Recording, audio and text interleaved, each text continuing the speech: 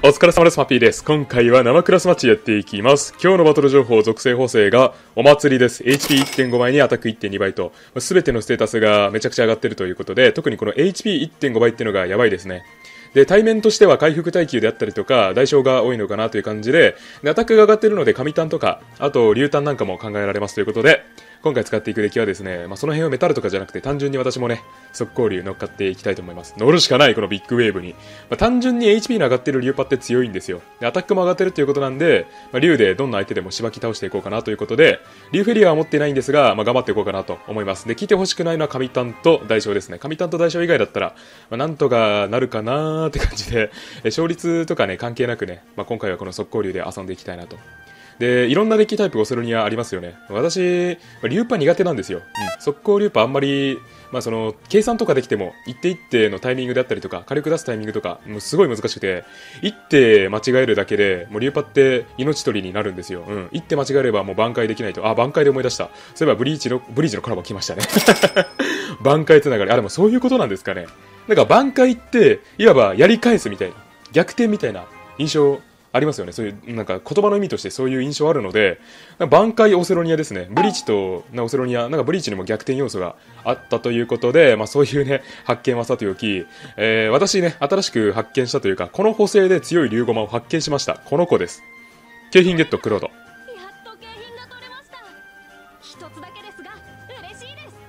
はい、かわいい。そしてかわいいは正義なんですね。この駒を置いた時に2500のダメージを受けて、リンク貫通攻撃力アップで、自分の敵の駒が全て流属性の時に発動できます。これコンボスキルも同じ発動条件ですね。アタックが2.2倍になり、さらに貫通付与と。で、コンボスキルが HP が70%以下の時に発動できて、アタックが1.8倍ということで、2.2倍の火力出せるんですよ。まあ、代償は受けてしまうんですが、今日の補正は HP が上がってるので、この2500ぐらいの代償ダメージだったら、まあ、許容できるかなということで、これはサマークロードの10日なんですけれども、まあ、強いかななと思いましたので、育成してきました。で、火力としてはプラスなしの状態だと、えー、プラスマのジェイに次ぐ火力ですね、4841出せます。で、プラスマの場合は4995で、まあ、5000近い火力を出せるということで、リューフェリアよりも火力は取るんですが、まあ、コンボもな、えー、っと70%以下で使えるということで結構使いやすいです。まあ、リューフェリアはコンボスキル2.2倍ということで、あの辺は化け物なんですけど、まあ、フェリア持ってない人にとっては、このサマークロードをこの補正で使うのがいいんじゃないかなと思います。第2のジェインみたいな感じで使っていこうかなということで、やっていきましょう。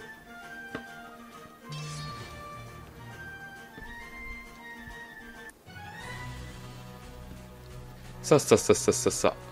まあ、今回ね、ノーカットっていうことで、まあ、正直その、カットする可能性もありますね。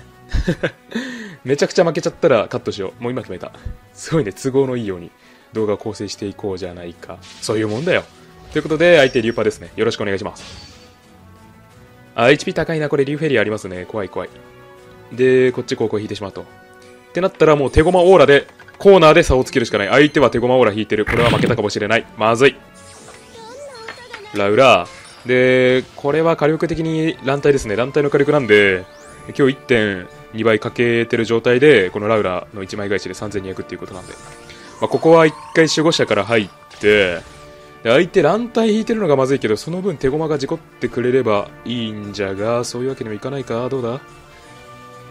落ち着いて。ゆっくり行こうよ。あーんやりやがった流、あの、流体面において最強の女を出し出してきやがった。これはまずい。これはまずいですね。で、カーンライズ2倍の状態なんでまだ出したくない。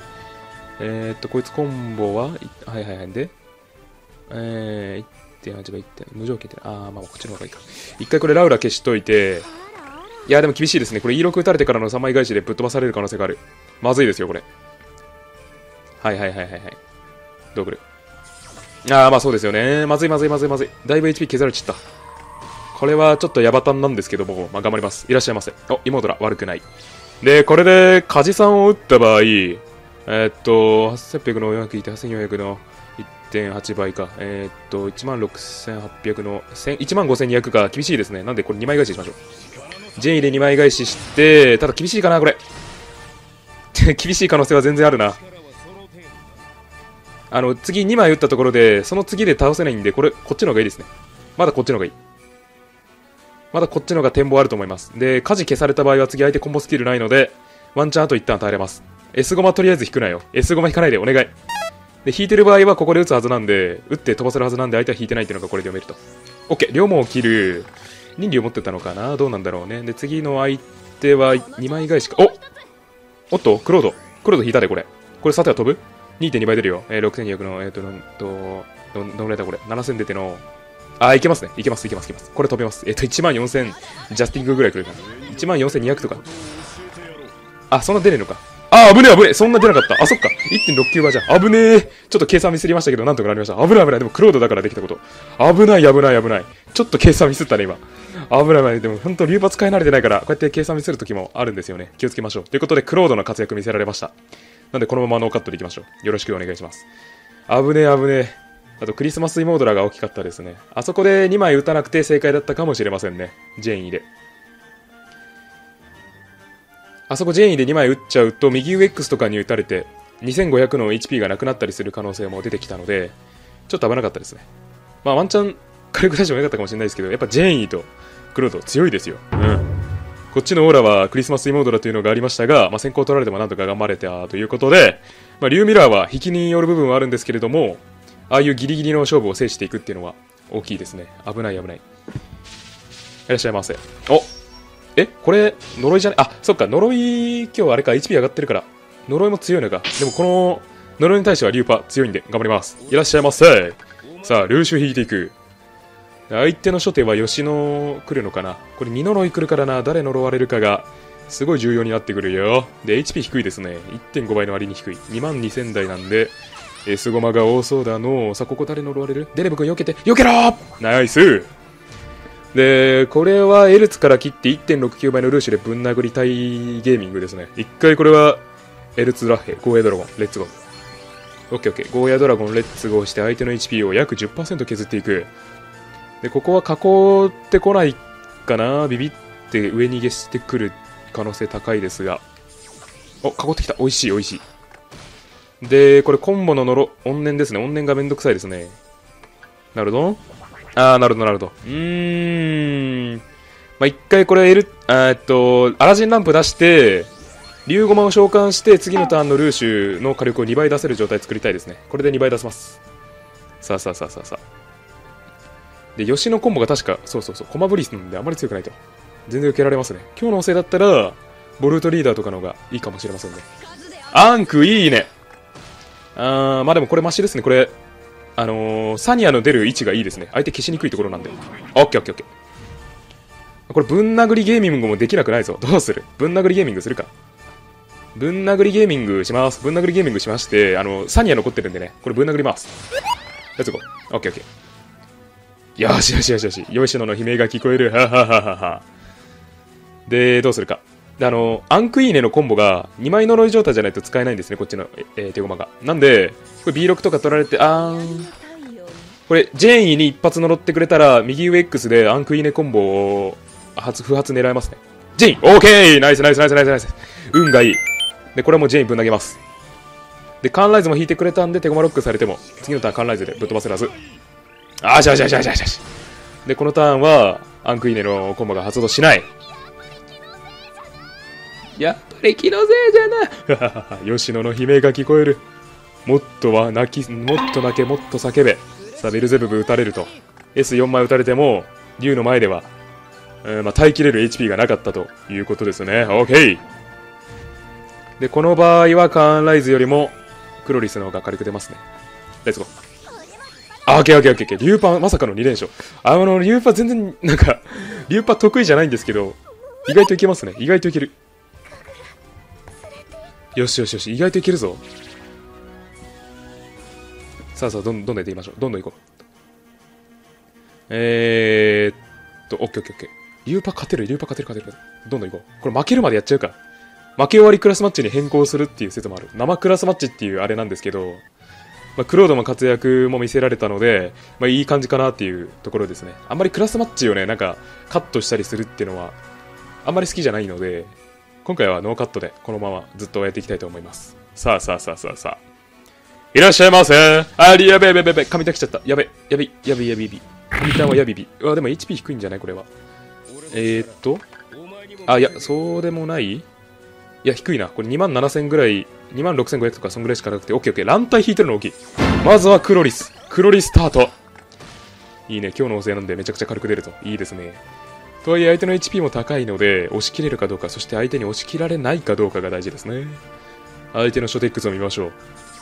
おっと、X に打たないマジか縦取りまさかの縦取りですね。これなんか誘ってるんですかね。ちょっと怖いんですけど、OK! この X アラジンランプめちゃくちゃ強いです。で、相手、これコンボ発動しないはず。HP70% 以下だから、2万、えっと、2万8000以下じゃないと発動しないんで、相手のウルのコンボもこれでケアできると。これ右下 X とか来るかな。俺なら右下 X とか取るけど、あとはもうこっちも S ゴマ待ちなんでね。S ゴマ待っていくぜ。OK、右下 X。あ、でもこれそいつコンボスキル発動しないな。さてはそいつコンボ発動しないな。なんでこれ2枚返ししちゃってもいいかも。あー、2枚返しします。デトックスカノンあ、でも全然だな。なんかま、まだこんだけ HP 残ってんのか。なかなかに渋いですね。しかし、こっちの HP もまだ余裕があって、うわー、不気味に引いた。じゃあ、不気味じゃない。フィリピティ引いた。まずい。不気味のコンボ発動しないから、ジーク2枚とか撃たれるだけでも結構痛いけど、痛いよ。やめて。やめてよして触らないで赤がつくから。あんたなんか嫌いよ。ゲーム見てくれ。やめて。やめて。やろう。あ、エンデガ君。いや、まあまあまあ。でもこれ F5 に打てば。オッケーオッケー。F5 と F5、F5 打ちます。F ゴールドブラム。いらっしゃいませ。おかえり待てよ。いや、これさっき、守護者に、いや、待てよ。相手14,352。えっ、ー、と、2枚フェリアで、えっ、ー、と、はいはい、6000のバフ込みで、7200のバフ込みで、9000。ライフあ、出ないですね。これ、J から打ちます。あので、デバフとか打たれたくないので、先にこっち軽く出しといて、これ次、ビクトリアとか、え、ー、と、フェリア2枚返しでも相手飛ばせないので大丈夫です。大丈夫、大丈夫。オッケーオッケーオッケー。で、なんならそこだったら、ジェインとサニアのダブルコンボが決まると。あ、オッケーオッケーオッケー。いらっしゃいませ。さあさあさあさあさあさあ。まあ、今のは、あの、守護者から切って、行くっていうのも全然手だったんですけど、なんか夏ハピとか切られる前に軽く出したいかな、みたいな感じで打ちました。まあまあまあまあ、どっちでもよかったとは思います。オッケーオッケーオッケー。リューパ3連勝ですね。意外といける。今日のせい、意外とリューパいける。まあちょっと、引きが強い部分であったりとか、あとは、あれですね、あのー、まあ、呪いに当たってくれたっていうことで、対面的にもいいんですけど、今日の速攻竜いいですね。これでめちゃくちゃポイント稼げるっていうのは美味しい。どんどん行きましょう。で、乱体も引いてくれてるし、まあ、さっきのはうまくいきましたね。さっさっさ。あの C6 にエンデが置かれてたらちょっとやばかったかもしれないんですけど、まあそれでもなんとかなってましたね。ジェイン引いたんで。ジェインがとにかく強い。皆さん早くジェインをね、手に入れましょう。持ってない人は。超ゴマパレードを引きましょうね。ということで、よろしくお願いします。あー、大将。大将どうでしょう大将どうでしょう水曜どうでしょうちなみにこの動画撮ってるのは木曜日です。よろしくお願いします。さてさて、高校。木曜どうでしょうおっとっとコスト15のコマと S ゴマを引いている。これなかなか悪くないけど、グエー。これだけでめちゃくちゃ痛い。うわうわうわ、うわうわうわうわうわ。そういうことしてくるんか。一回これラメリーですね。まずはランメリー、うちの次のターンでランタイ引きのジェイン、うちのクロードと次のクロちゃん行きたいですね。さあ、クロちゃん。頑張れ、クロちゃん。クロちゃんですわわわわーっていう感じで まあ、あの、そっちのクロちゃんとは似ても似つかないんですけどね。似ても似つかないんですけど、まあまあまあ、このクロちゃんで頑張れ。いや、ちょっと待って、それはパリピ。うい、パリピ、パリピ、パリピ、パリピーポ。ちょっと待って、2500の代償が、これ、被れない可能性がちょっと出てきた。ちょっとまずいよ。一回火事打ってからのジェイン打ってからの3枚返しなんですけど、これちょっと負けたくさいぞ。やばいぞ。ここでクラフィール切るって相当やばいぞ、これ。やばいやばいやばいやばいやばい。クロードが使えない可能性が。いや、使えないっていうか、2手で飛ばされる可能性すらある。怖いんですけど。今日の代償デッキやばくね？まあでも相手も。おっと？エンデガ君切る。待てよ、S 大将じゃなかったら耐えれるんか？どうなんだ？追いつけ。L2。ちょっと考えますね。L2 ったらどうなる？うー、ちょっと待ってよ。L2 ったらどうなる ?L2 ったらどうなる？いや、L 釣った後の J で飛ぶんか、これ。ちょっと怪しいぞ。あれ打ってからのあれ打って6000出たとして、あー、怪しいですね。まあでも J 打っとくか。いやー、ちょっとここ、ここなんだよな。こういうところでダメージ計算さ、ちょっと頭の中でさ、追いつかないっていうのが自分の悪いところなんですよね。まあでもこれで、エルツ切った後のジェインとかであってもね、あれなんで、ジェイのコンボのが2.2倍で強いんでね。S 大将来られたらやばい。オッケーオッケー。それ耐えれるんじゃね？てかなんなら2500残るんじゃない ?2500 残れ残れあ、2500さすがに残んねえのか。ちょっと危なかったな。エルツから切った方がよかったな、これ。ちょっと待ってよ。あ、待って、これ飛ぶ？飛ぶちょ、待って待って待って。待って待って待って。やばくね？やばくない？やばくない？さてやばくない？あー、エルツから切るべきだったか？エルツから切るべきだったか？これ。ジェインをフィニッシャーに据えた方が良かったのか。しまったな。いやー、いやでもこれ、ここしかないですね。さすがに飛ばないんだけど、これは。いやでも、相手の手駒が全部 S 大将で固まれ。全部 S 大将。いやー、エルツから切ってよかったしまった。しまった。いや、でもちょっと、これクロードの弱いとこ出ましたね。これクロードじゃなかったらって感じだったんですけど、まあさすがに飛ばされると。やらかしたかなエルツから切ったとしても厳しかったかなちょっと後々計算してみます。多分厳しかったかな乱体とかも引いてなかったんで。まあどっちみちあれはジェイン切ってからの、なんか、コスト15の駒とか引いていくムービングで相手に上逃げされることを考えると、まあ、ジェインから切って正解だったっていう風にも捉えられるんですけど、どうだろうか。結局、ランタン引かないと厳しいんだったら、まあ、ジェイン切ってよかったかなって感じなんですけど、ちょっとね、悔やまれますけど、まあ、大小デッキに負けてしまいました。まあでも、うん、それでも肉薄する勝負できましたし、クロードのおかげで1戦目なんかも突破できたので、まあ、クロードの強みも見れましたが、まあ、弱みも見れたって感じで、うん、まあ、なんとも言えないんですけど、まあ、普通に強いと思います。今日の補正であれば、HP に余裕は、まあ、単純にあるので、あとちょっとで発動できたところもあるので、え全然この10日クロードですね、10日様クロードを使ってもいいと思います。ということで、え今回この辺で終わります。ちょっとね、あの、早いんですけど、なんで、早く、早いんですけど、ちょっと終わります。ちょっと今、外雨やばくて、あの洗濯物がちょっとやばいことになってるんで、え洗濯物を取り込んできますということで、お疲れ様でした。バイバイ。